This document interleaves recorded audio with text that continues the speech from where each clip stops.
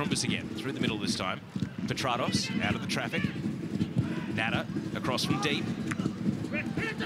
And at the second time, the header is in. They couldn't keep it out. Western Sydney Wanderers get the breakthrough, and Jarrod Carluccio is the man who has found the back of the net. You can see what it means to him. A first Isuzu Ute A-League men's goal. Well, what a wonderful passage of play that is from Western Sydney Wanderers. Telling cross to the back post. You can see there as the ball's played wide. It's just a touch out of his feet on the Harvey Norman replay. And the sun may have played a role in that, but ultimately Carluccio was just hungrier for the ball. Petratos spins back out of the box. Budakutis pressing forward. Ibini on the turn. Parried down. Could it be two in the blink of an eye? Not quite for Carluccio this time. Well, he's in the mood, isn't he, Carluccio? That's a great turn and strike, first of all, from Bernie Ibini-Isei. Lapane trying to knock it to his own advantage, just takes on Uskok. Uskok stays goal side, though. Lifts across. Down it comes Carluccio. He scored one, and he's denied a second. It hits the crossbar. Oh, and Petratos from less than a metre out. Well, that was harder to miss than it was to score. Jimmy Petratos can't barely believe that he hasn't found the back of the net with that. Some great work from Lapane and then Carluccio. Look at that.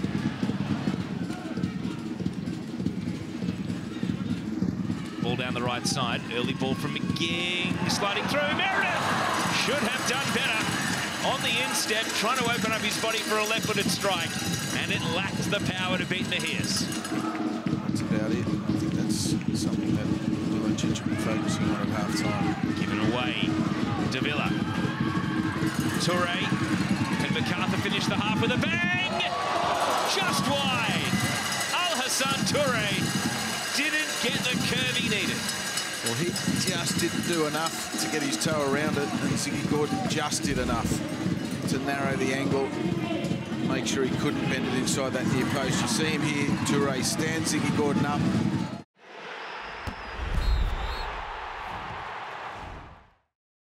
McGee now playing on the left side.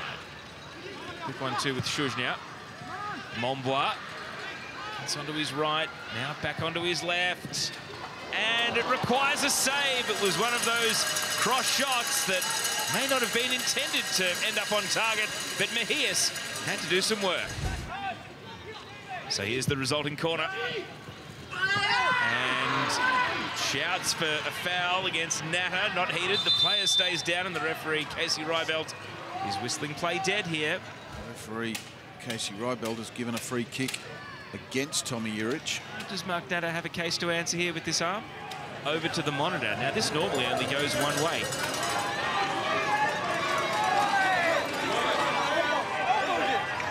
Here's the verdict. Penalty.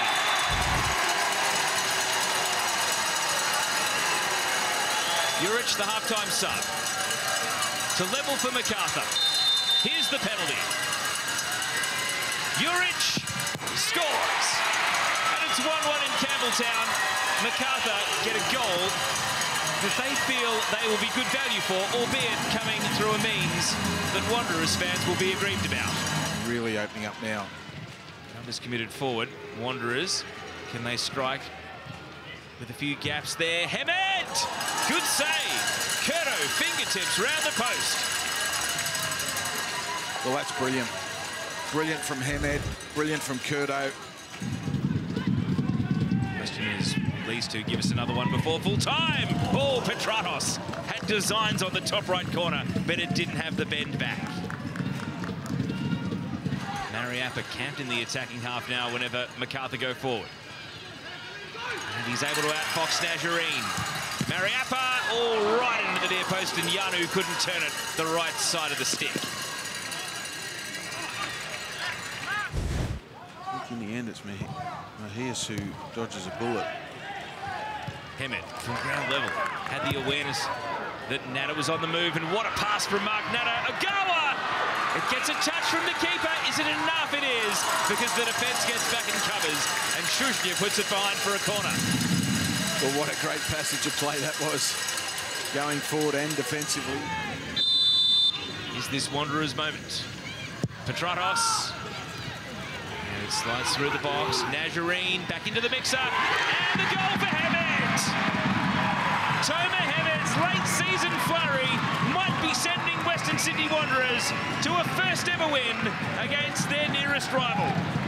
Casey Reibelt is checking an offside, which is normally not the done thing on the monitor. Normally the VAR manages that autonomously. Well, Phil talks through it. well Tom Hemed's not offside. Of that there is no doubt. It's just whether Natta comes from an offside position and affects the play, which I don't think he does. Gee, I'd hate to see this ruled out. You can see coming back from an offside position. Jordan Much was never going to get to that. It already cleared him. But they're going to disallow. Wow, what an anti-climax. Oh, got to respect the referee's decision. Petratos, one last hurrah. Munakunis! Oh, what a chance, the glancing header. And it went wide of the post.